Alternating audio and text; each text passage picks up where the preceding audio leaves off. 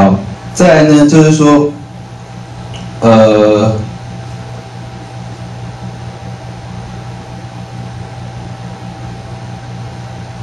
我还要讲到就是有趋势的部分哈，就是嗯，你你你你先要经营品牌，不管你要经营什么哈，或者你要怎么样推自己哈，你可能都要做市场调查。因为现在资讯是非常广，你要做市场调查，要知道趋势。如果你不知道趋势，其实趋势就是一切。你们要非常记住这一点啊，趋势就是一切。房地产也是，股票也是嘛，全球暖化也是嘛。哦，比如说，譬如说，呃，传统产产业，譬如说我们。像我们公司有经营衣服，有经营人，我们其实大到小，冷气、珠宝、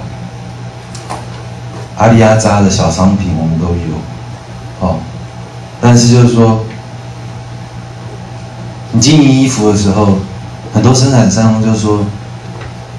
现在已经七月了，你们还给我们设计稿，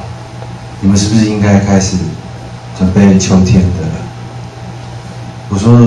你你忘了去年的冬天是怎么样的？因为我们去年冬天就弄了很多大衣嘛，我们去年冬天在衣服这一块就是大衣跟围巾就卖，可是别人都没有大衣，那别人就惨。那今年今年的话，就是其实热都，它都还在北部还没热下来，就昨天是三十七度嘛台北，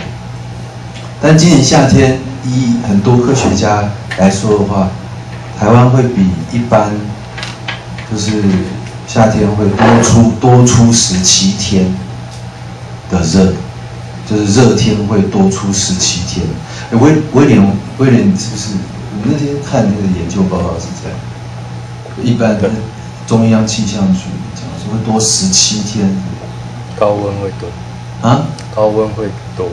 高温会比较多，所以今年夏天可能会比较长。所以你们的你们也要看一下你们经营的东西哈，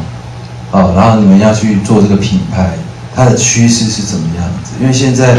这个在全球化的情况下哈，呃，有很多东西它会超乎你想象，譬如说像 Skype 哈，你你以前有想过说打电话可以不用钱吗？可能可能没有办法想象到，对不对？